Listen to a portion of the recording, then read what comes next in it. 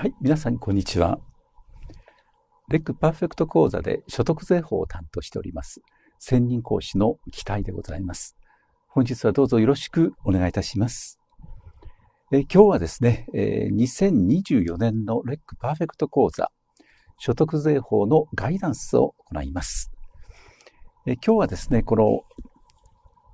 2024年のですね、この新しいパンフレット、これをお手元に置いてですね、え、やっていきたいと思います。え、内容はですね、今日お話しするのは、え、税理士の、ま、魅力ですね。え今日はですね、え税理士の魅力、それからどのタイプの税理士を目指すのか、それからどうすれば税理士になれるのか、それから税理士試験はどのような試験か、そして、パーフェクト講座の内容、で、学習の方法、こういった手順で、話を進めてみたいと思います。このレジュメとですね、それから、あの、え、パンフレットと、え、まあ、併用するような形で、え、お話をしてみたいと思います。はい。それではですね、まず最初に、この税理士の魅力、こちらの方からちょっとお話をしてみたいと思います。えー、テキストは30、パンフレットは32ページになりますね。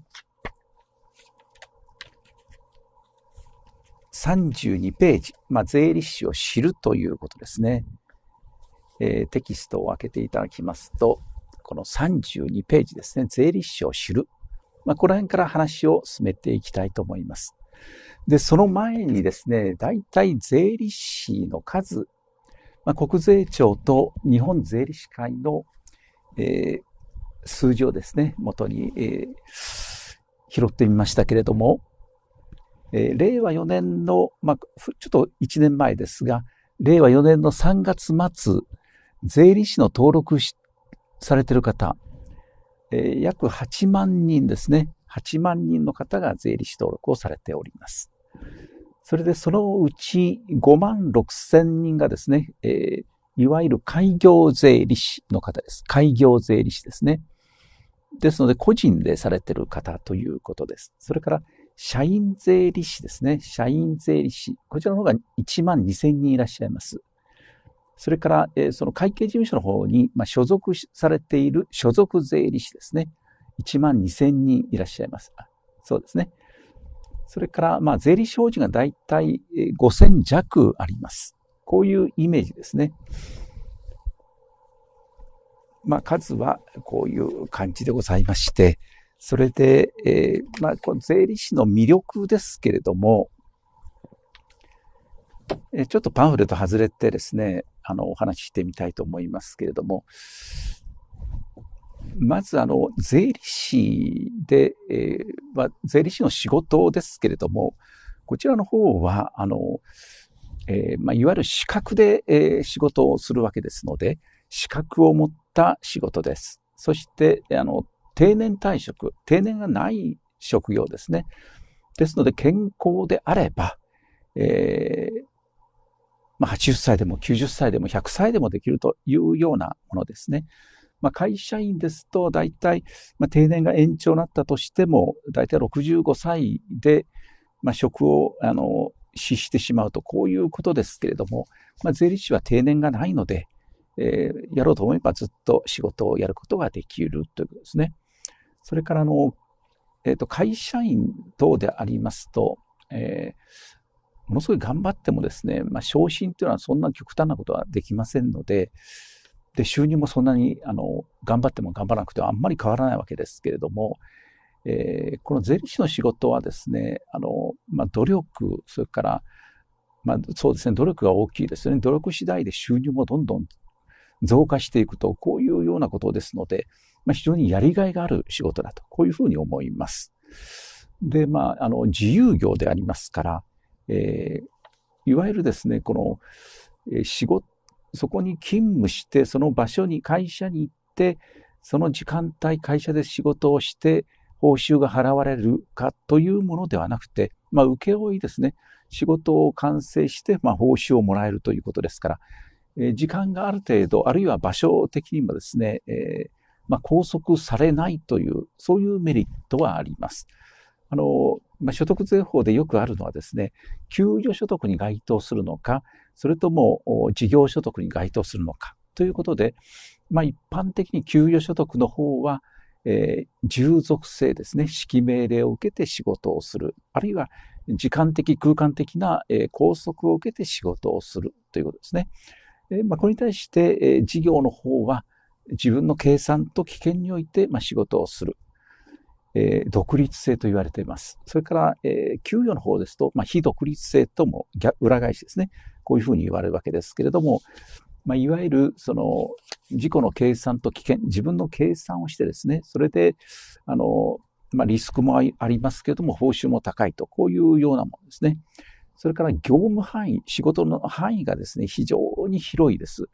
ですので、あの、この税理士の仕事は独占業務でありまして、まあ、一般的には税務申告書の作成ですね。それから、ですので、例えば申告書を作るとかですね、えー、そして会計もですね、これはあの税理士固有の仕事ではないんですけれども、まあ、帳簿、えー、書類を作って、それで、えー、あの書類ですね、書類を作って、帳簿を作って、そこから申告書を作っていく。まあ、そういうようなイメージですね。ですので、その周辺にもいろいろなですね、あの、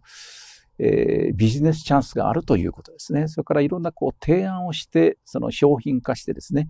で、これをからまあ収入を得るとかですね、それから税務代理ですね。まあ、一般的なものですと、その税務調査あった時にですね、立ち会いをするとか、あるいは、えー、訴訟になった時に、えー、まあ、訴訟は弁護士さんが主にやりますけれども、税理士も補佐人とかですね、それから審査請求になると、まあ、税理士の方でやるというようなこともあります。税、えー、納税者本人の代わりに仕事をするということですね。それからもう一つは税務相談ですね。税務相談。いろんなこう、えー、所得税の話とか、法人税の話とかですね、あるいは相続の話とか、税務相談ですね。えー、この3つ、大きく分けてこの3つ、税務書類の作成、税務代理、それと税務相談。これがあの税理士の資格を持っていないと、えー、行えない業務であります。ですので、非常にこう、えー、まあ、あの、やりがいのある仕事と、こういうふうに言うことができると思います。それから、あの、今、あの、人材不足でありまして、まあ、引く手あまたですね、売り、あの、売り手市場であります。それから、あの、この有資格者、私も含めてですね、あの、えー、非常に高齢化しております。ですので、えー、まあ、事務所によっては、その後継者がいないとかですね、こういったケースがありますので、えー、ここで試験、資格を取ってですね、あの、後を継ぐ事業承継ですね、こういったチャンスが、あの、出てきますので、ぜひ、あの、この税理士の資格を取っていただきたい。こういうふうに思います。はい。それではですね、どのようなタイプの税理士を目指すのか、これですね。どのような税理士を目指すのか。それによってその受験プランも違ってくるということであります。まあ、税理士の資格取ってですね、いろいろなこうパターンがこうあるわけですね。えー、テキストのパンフレットの33ページをちょっと見てください。あの、自分で独立して開業するというケース、それから会計事務所、個人の会計事務所に入ってですね、まあ、いわゆる所属税理士ですね。それから、あの、税理士法人を立ち上げて、えー、まあ、役員になる社員税理士ですね。それから、税理士法人に、えー、社員ではないんですけれども、所属税理士という、こういうようないろんなパターンがありましてですね、活躍する場はたくさんあります。それでさらに今度は中身から申し上げるとですね、えー、まあ、その他にこの一般企業で活躍すると、こういうケースもありますね。それからコンサルをやるとかですね、まあ、金融機関で、え中に入って活躍するとか、一般の企業でも活躍するチャンスがあります。それからさらにはですね、今度は中身の話ですね。中身の話。えー、どのタイプの税理士を目指すのかですね。どのタイプの税理士を目指すのか。えー、ここの括弧2のところですね。えー、まあ、例えば、お客様、クライアントをですね、個人の富裕層にするのか。えー、例えば、えー、個人で自営業されている、法人化していない個人事業主の方ですね。それから、えー、開業医、医師の方ですね。それから、えー、芸能人、それからプロスポーツ選手、作家とか芸術家とかですね。まあ、著名な方のこの申告を管理すると。申告の助言をすると。こういうような、えー、個人の富裕層をターゲットにする。それからあとは法人の方ですけれども、法人ですね。えー、まあ、中小法人から大法大企業までこうあるわけですけれども、なかなか、うん、大手に入らないと大法人、大企業っていうのは、あの、なかなか、えー、担当するチャンスはないと思うんですね。で、ほとんどが、あの、中小法人ですね。中小法人の仕事ということになりますね。それから、あとは業種に特化した会計事務所もありますね。例えば、もう、あの、基調とかそういうものはもうやらないで、えー、相続専門でやりましょうっていうことですね。えー、もう専門ですね。それから医療に特化ですね。えー、医療法人とか開業医とか、この医療の周辺、医療に特化してやる会計事務所。それから芸能人とかプロスポーツ選手をこう一手に引き受けると、こういうような、えー、税理士法人、会計事務所もあります。ですので、どこを目指すかによって、えー、まあ、科目をですね、どういうふうに選択、後でえー、括弧4のところ行きますけれども、そこにつながってくるわけです。はい。それから次、3番目になりますけれども、えー、どうすれば、どのようにすればですね、この税理士になれるのかという話です。えー、テキスト34ページで、あの、パンフレット34ページですね。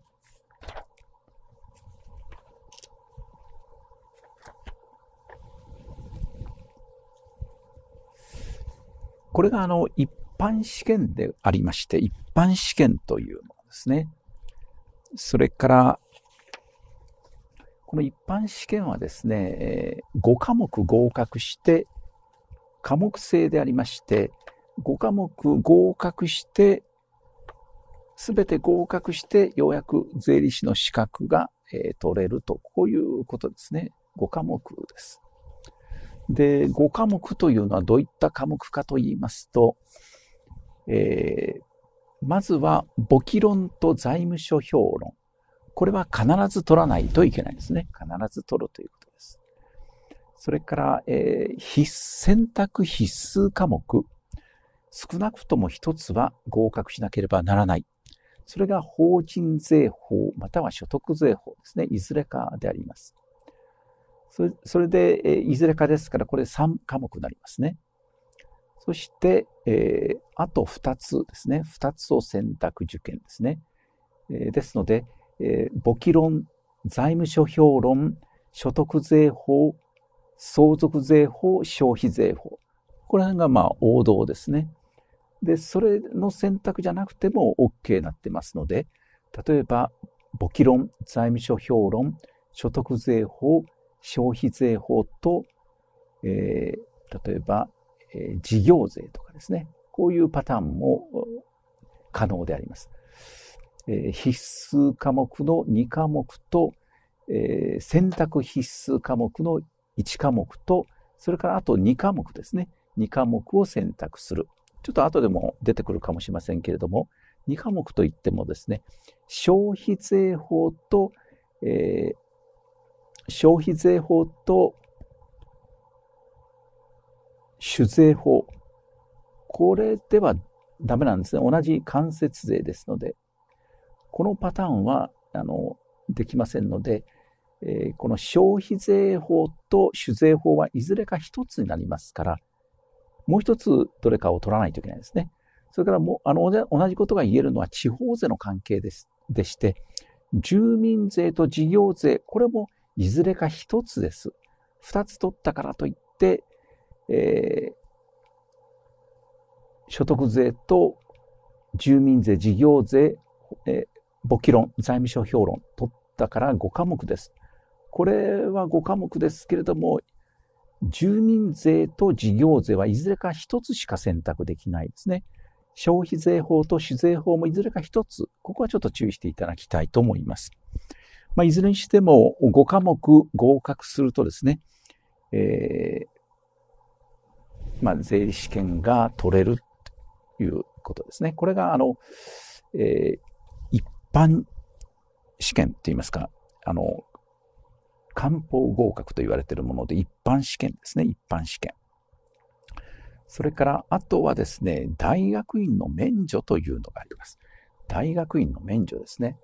えー、これはですね、ちょっと後ろの方になりますか、41ページですね。あ、44ページですね。44ページのところを開けていただくと、今の一般試験で合格するという方法とですね、それから税理士試験の免除制度というのがあります。免除制度ですね。で、まずは皆さん多くの方が取られるのは、この修士ですね。えー、いわゆる会計大学院、大学院に来まして、それで、例えば、簿記と財評、財務諸評論と消費税を取ってます。そして大学院、あと2年行ってですね、えー、租税法の論文を仕上げるというふうにしていただいて、まあ、審査会クリアしないといけないんですけれども、合格しないといけませんけれども、そうすると、えー、あとの残りの2科目がこれ免除されるんですね。だから、簿記論、財務諸評論、えー、これは何でもいいです。消費税法を例えば持ってると、論文を書くことによって2科目免除です。そうするとですね、かなり、えー、えー、受験プランが立てやすいということですね。立てやすい。それから、あの、簿記論と財務諸表論を持っていない人が会計論文を書いたら、あ、こちらの方ですね。ここですね。そしたら、これは残りの1科目が免除と、こういう制度もあります。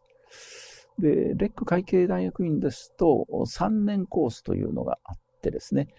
会計論文と税法論文、これを書き上げるとですね、会計科目の1科目免除と税法2科目免除ですから3年で、えー、論文を仕上げるという、こういうコースもあります。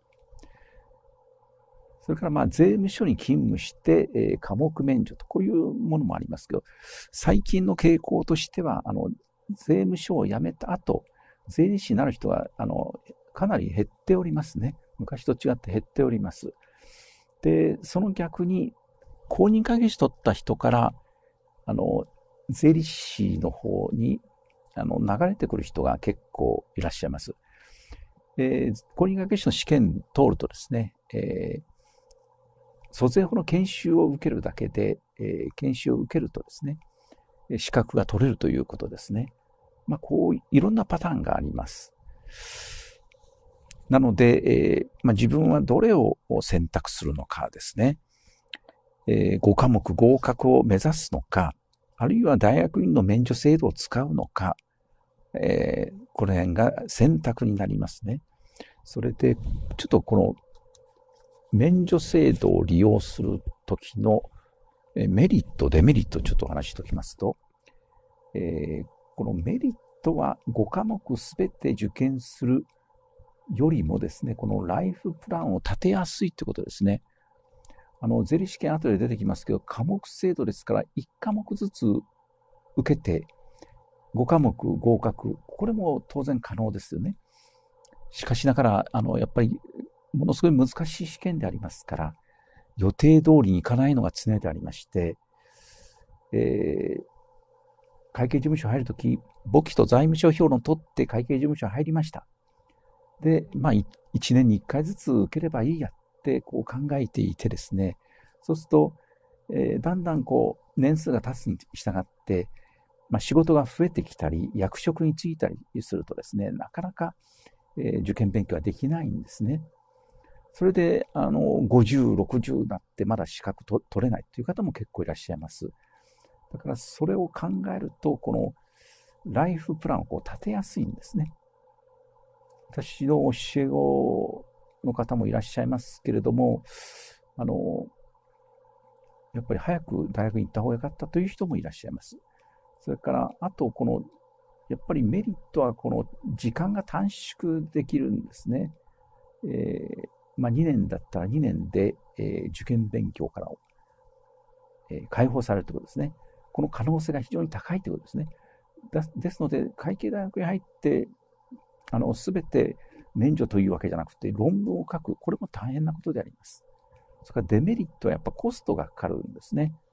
それから研究が認定、不認定の場合は科目免除にならないんですね。やっぱりあの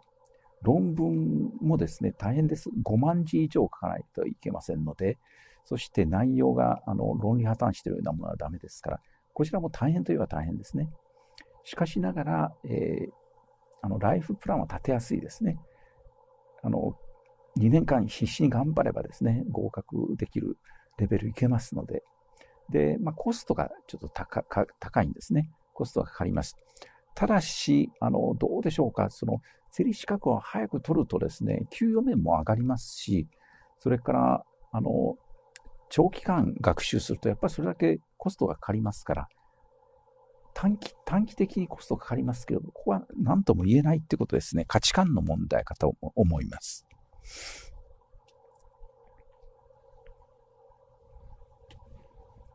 はい。まあ、こういう形になっておりますね。それで、あの、最近の傾向としてはですね、やっぱ大学院が非常に、あの、申し込み者が急増しております。と言いますと、今、あの、えー、授業が前は対面式だったんですけど、今、ズームでやっておりまして、それで、あの、 LEC会計大学の場合ですけれども、今、ズームの講義をやってます。そうすると、ズームです。で、しかもですね、えー、土日に、まあ、集中的に授業がありますから、えー、会社勤めながらでも十分、この大学に出ることができるわけですね。で、前は、あの、えー、通学しかありませんでしたから、えー、遠隔地の人は結構諦めていらっしゃったんですが、これ、ズームでできるようになったので、まあ、地方、例えば沖縄、えー、それから九州、それからあの北海道とかですね、各地からこう参加できるようになった。あの海外からも入あの入学されている方もいらっしゃいます。非常に今人気が高いですね。で、しかも入校がですね、春と、えー、秋と2回あります。なので、えー、これは非常に、まあ、メリットが多いということですね。今、ズームですけれども、まあ、いずれ対面と両方になってくるかと思います。えー、まあ、人によって地方の人はズームでやるような形になるかと思いますけど、まあ、非常に魅力の高い、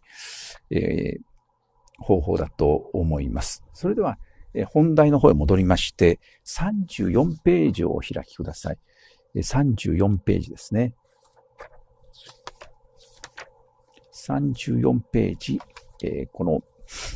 一般試験の方ですね。一般試験の方です。えー、一般試験のこの科目合格制度ですね。これちょっと先ほどちらっと話しましたけれども、えー、合格した科目は一つ一つが一生消えることはなく、えー、科目単位で、えー、これ履歴書に記載できますってことですね。コニカゲ試験の担当式ですと、えー、まあ、2年か3年ですかね、あの、有効期間がこう、まあ、合格し、担当式合格したという事実は残りますけれども、えっ、と、次、理論の試験、えー、いけるわけですが、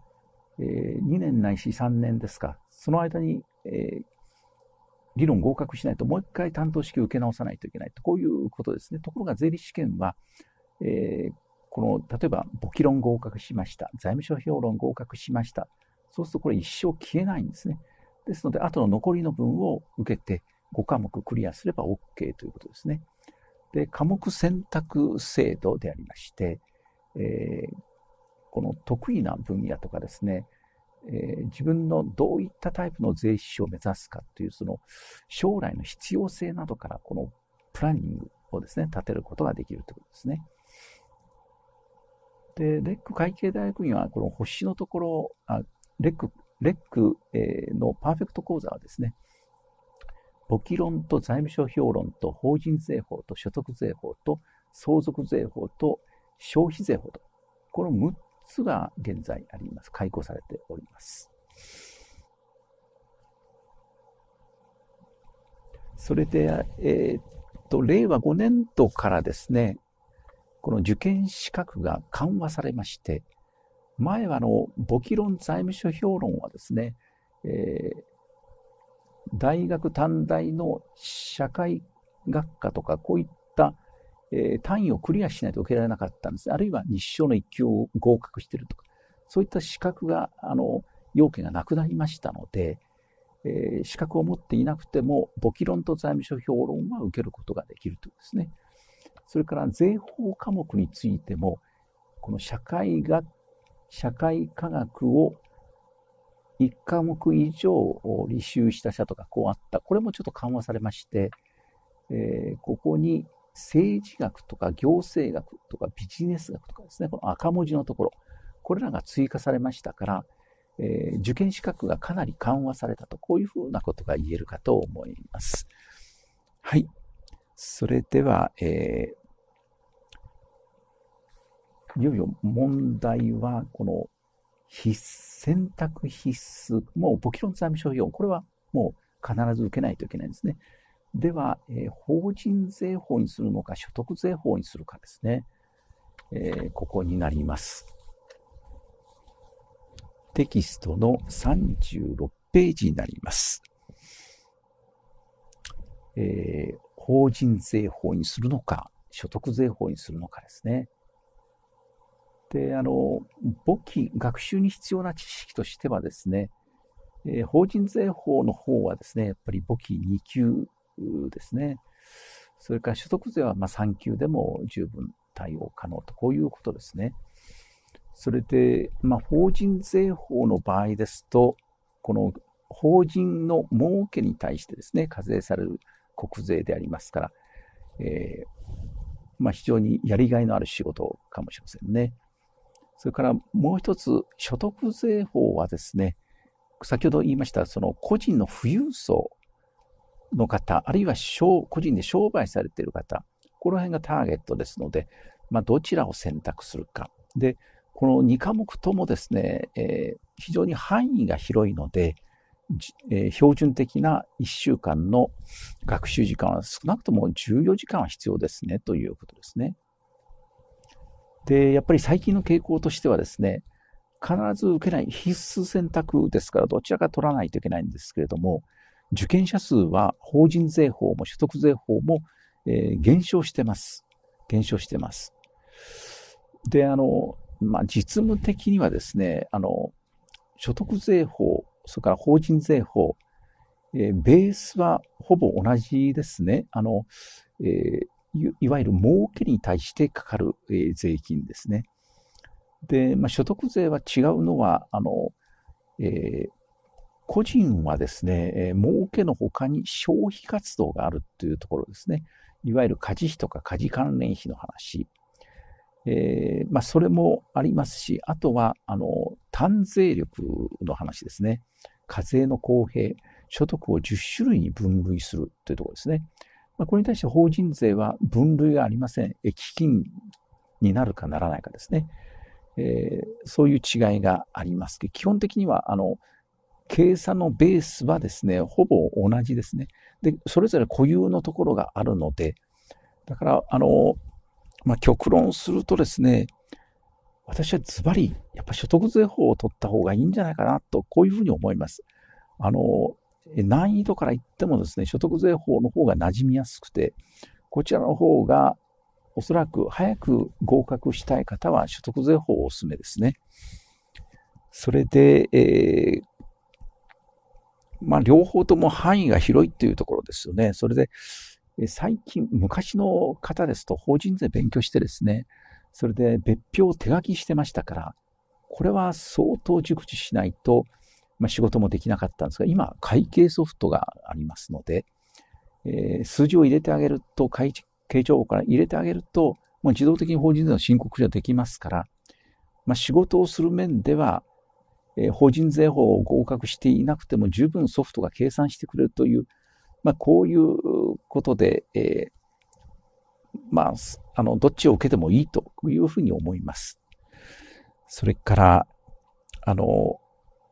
まあ、私は何と言ってもですね、受験勉強を何年もするもんじゃないと思います。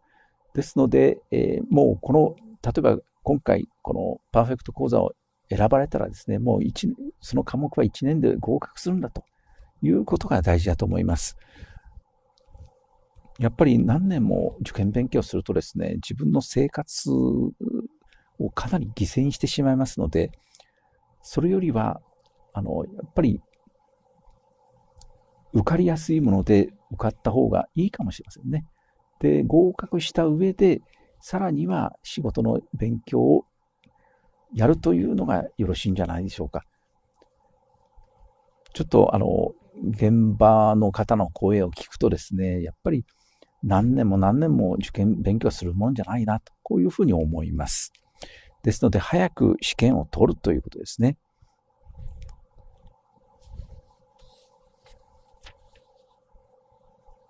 まあ、少なくとも30代ぐらいに取るっていうのが一番いいでしょうね。あるいは30超えた方でもですね、えー、10年も受験勉強するというのは得策じゃないと思います。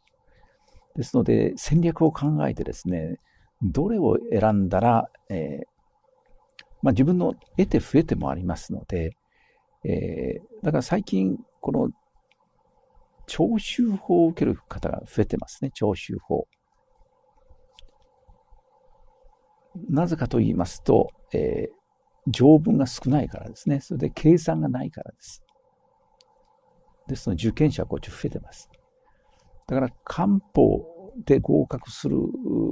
方でも、こういうパターンもありますね。簿記論、財務諸評論、所得税法、酒税法、徴収法、こういう受け方をする人もいます。でもこれも漢方合格なんですね。一般試験合格です。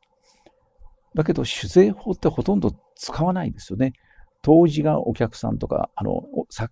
お酒を作ってるところがお客さんとかですね、クライアントだったら必要ありあるかもしれませんけど。から徴収法もどちらかといったら、滞納処分の話がメインですので、まあ、ほとんど使わないという科目ではあります。で、その、使う、使わないかで申し上げますと、簿記論、財務諸評論、所得税法か法人税法、それと、まあ、相続税、消費税。これあたりは、まあ、頻繁に使う科目ですね。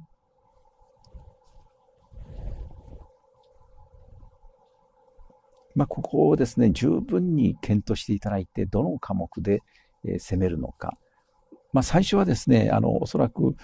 やっぱり法人を勉強しないとやっていけないというような感じがあって、やって何年も何年も法人が通らないというような方もいらっしゃいます。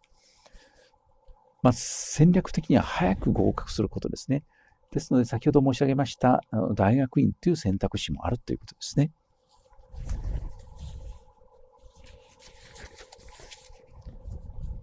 あの、やっぱり、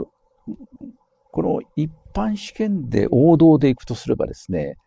これ選択必須ですけど、簿記論財務諸評論、法人税法、所得税法、相続税って、これがまあ一般的な王道ですね。これがまあ一番理想的かもしれません。しかしながらやっぱり相当犠牲にしないとですね、犠牲を負わないと、えー、5科目合格しません。あの、ものすごい難しい試験だからですね。範囲が広いってことですね。なので、今度これ十分に考えていただいて、えー、やっていただきたいと思います。はい。この36ページですね。どちらを選択するかですね。それから、えー、学習、パーフェクト講座の内容からちょっとやっていきましょうか。パーフェクト講座の、あ、それからちょっと、その前にすいません。41ページをちょっと見てください。41ページのところに、今申し上げました、選択必須科目としての所得税法ですね。えー、これが、あの、週ですね、だいたい14時間学習する必要があるということですね。それで計算が50点、理論が50点の、ま、問題が出ますよと。まあ、100点取るってことは、まず不可能だと思います。100点取る必要はありません。あの、65点がだいたい、えー、ボーダーラインですね。まあ、大体60点から65点と言われています。そして受験者数が1294名ですね。非常に少ないですね。で、合格者も182名ということです。合格率が14%ぐらいですね。まあ、年によって若干こう変動ありますけれども、それで、あの、初学者の方もですね、このパーフェクト講座をやっていただければ合格基準まで来ますの合格のレベルまで必ず行きますので、これは非常にお勧めだと思います。で、法人の方も同じようにですね、えー、学習時間600時間かかります。で、法人の方はやっぱり若干、あの、受ける人が多いということですね。しかしながら所得税も法人税も、えー、受験者数はどんどん減少しております。減少しております。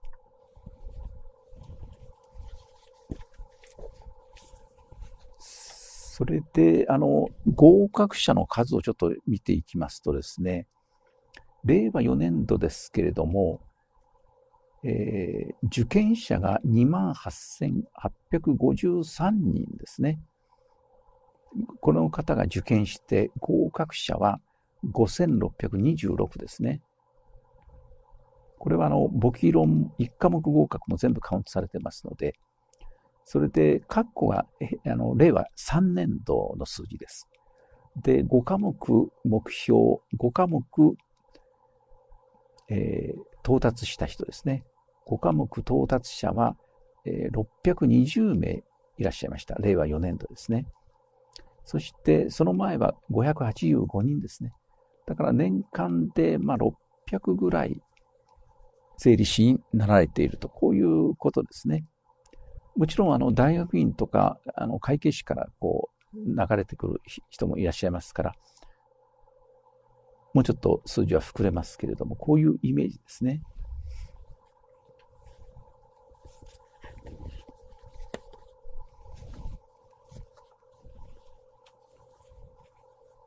はい。そしたら今度はですね、パーフェクト講座の中身ですね。これを見ていきたいと思います。えー、パーフェクト講座。まずは、えー、3ページですかね。3ページを開いていただくと、えー、税法科目へというところですね。必須選択科目としての、まあ、法人税法と所得税法、どちらか1科目。まあ、両科目取るのが一番いいかもしれませんね。そして、えー、あとは、まあ、相続税、消費税法ですね。この辺を取るというのがよろしいかと思います。ですので、簿記論財務諸評論、簿記論財務諸評論、それで、えー、所得税と相続税、消費税か、あるいは法人税、相続税、消費税か、こういうパターンがあるわけですね。で、早く合格するんだったら所得税の方がいいと思います。それから、14ページですね。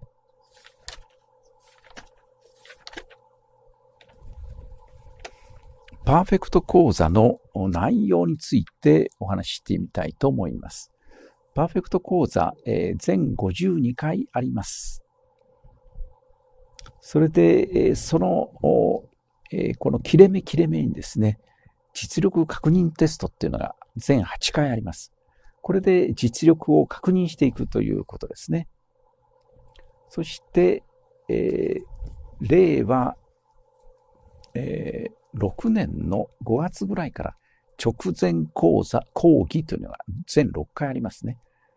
えー、その、ちょうどここの令和、えー、6年の3月末に、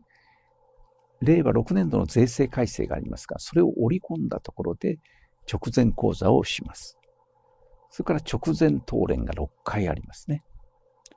それから、えー、全国公開模試というのがあります。6月の初めぐらい、6月ですね。それから7月に、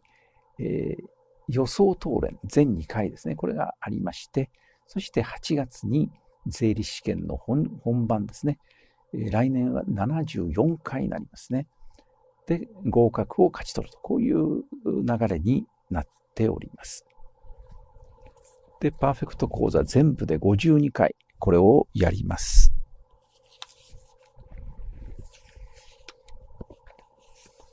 それから、え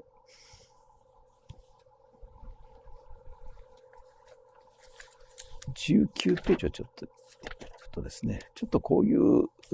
形でやります。えっ、ー、と、まあ、原則的にこう3名でこうやります。で、パーフェクト講座の方を私は担当しまして、成瀬先生が直前と問題集、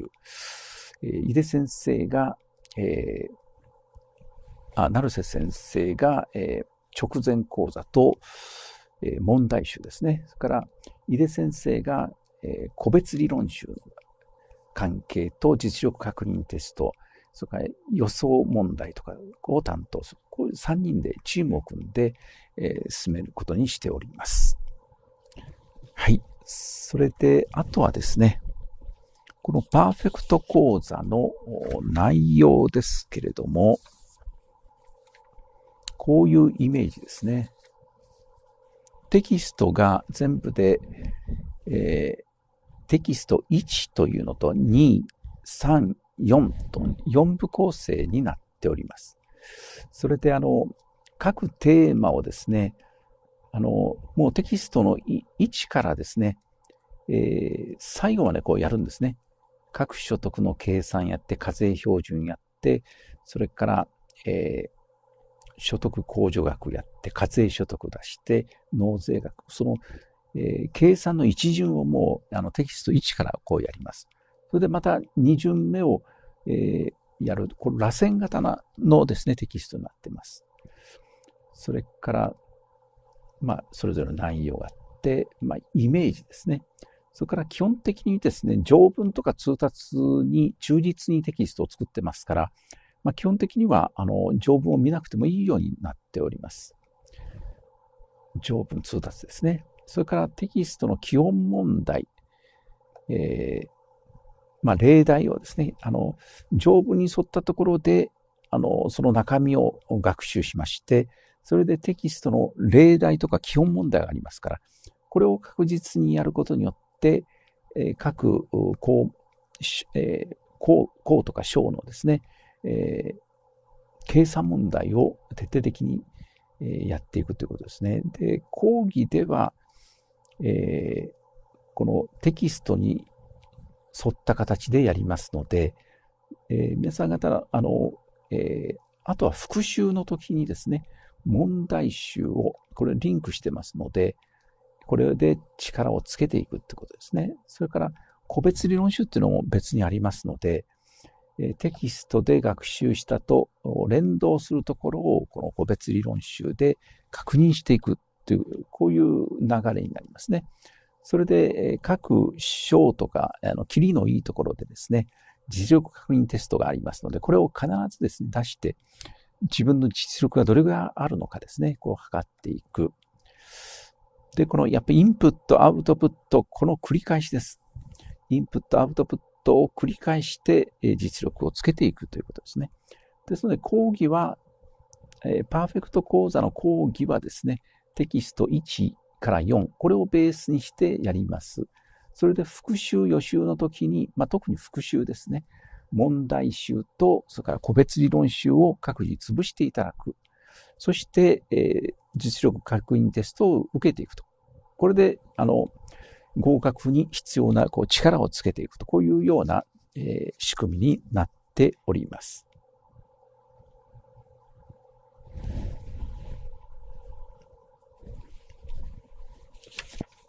まあ、あの、大体以上がですね、あの、パーフェクト講座の中身です。で、ちょっと学習の方法について少しお話をしてみたいと思います。えこの学習の方法ですね。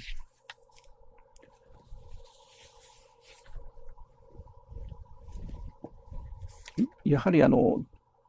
テキストがいかに良くてもですね、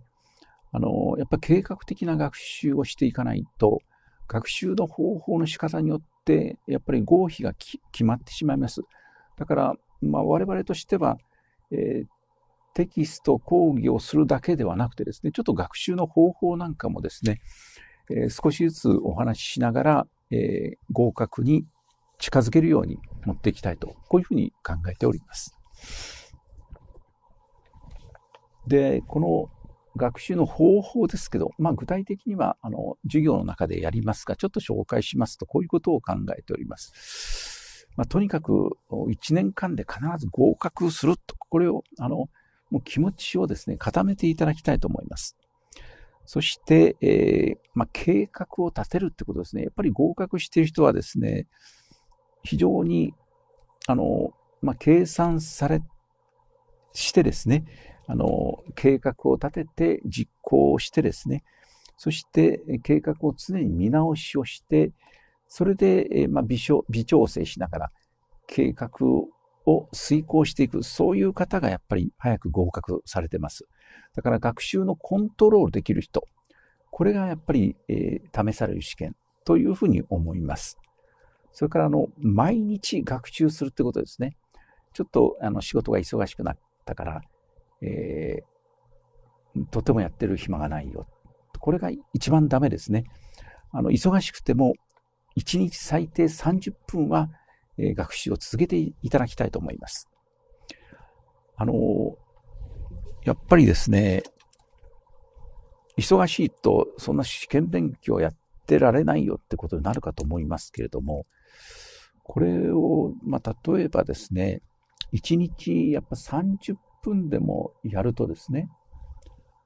かける、まあ、365ですよね。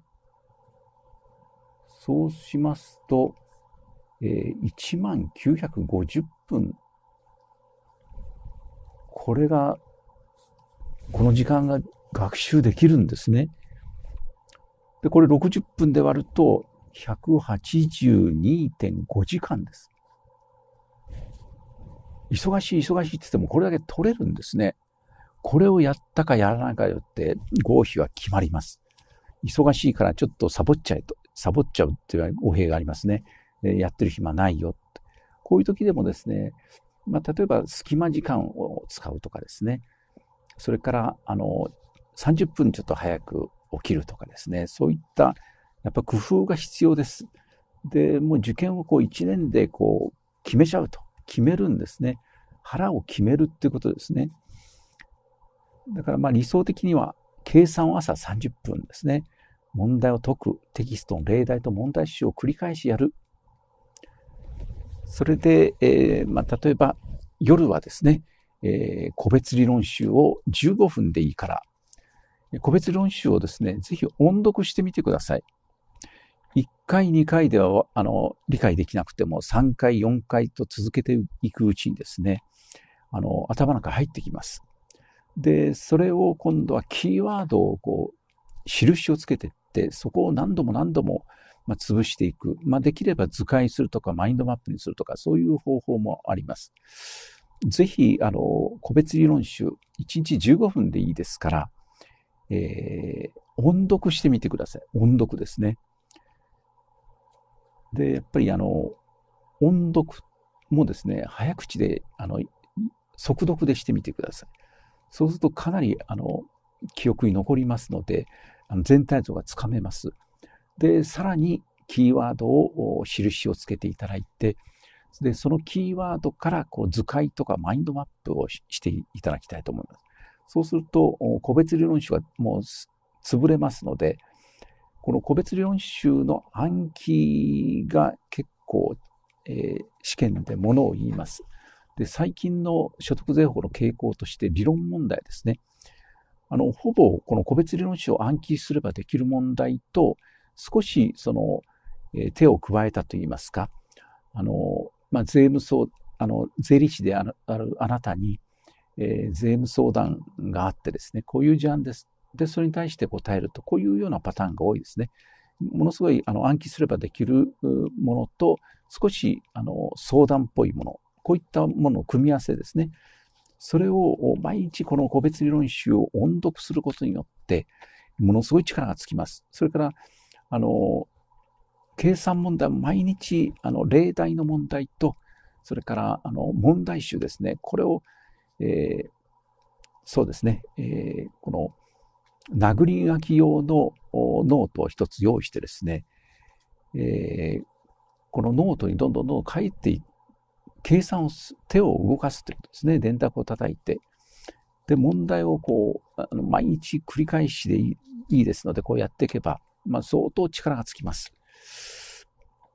それから寝る前にですね、やっぱりあの、計画を確認するということですね。明日やることを決めて、それで本日を終えるってことですね。そうすると、明日のスタートが早くなるってことですね。それからタイマーを使うですね。集中力が非常にアップします。タイマーを使って15分とかセットしてですね、音読をしていく。それから15分で計算を解いていく。こういうのが非常に力がついてきます。それから、あの、学習するときですね、すぐに学習するのがコツですね。ちょっとスマホで確認してって言ったら、もうその日は眠くなっておしまいですね。だから、えー、学習するための席に、自分の部屋に帰ってですね、着いたならばですね、えー、すぐに学習するってことが大事です。それから、あの、本を読んだり学習したりするときに、えー、アウトプットを意識したインプットをしていただきたいと思います。学習効果は全然違います。ただ、インプットすればいいっていうものではなくて、アウトプットを意識したインプットですね。えー、試験でもしかしたらこういう出し方をされるんじゃないか。あるいは、このインプットしたものを誰かに説明しないといけない。こういうような状況、シチュエーションを考えるとですね、あの、うん、集中力が違ってくるってことですね。それから合格するための学習方法で、えー、大事なのはですね、この所得税法、範囲がものすごい広いです。ですので、どう学習すればいいのかと言いますと、浅く広く学習ですね。で、これはあの、基本的な事項は繰り返してですね、完璧にするってことです。ただ、あの、えー、深くやる必要はないんですね。深くやる必要はないですけれども、えー、基本的な事項は確実に、あの、ものにしていくってことですね。えー、狭く深くはですね、これ合格のためには、えー、うん、これはクエスチョンがつきますね。あの、学問的には深く、深く、狭く深くやることが非常に大事です。ですけれども、この税理試験の合格をするためには範囲が広いですから、何が出ても基本的なことはわかるぞというような学習の方法ですね。合格した後に深く学習すればいいわけです。で、やっぱりあの、うん、長年受験勉強されている方はですね、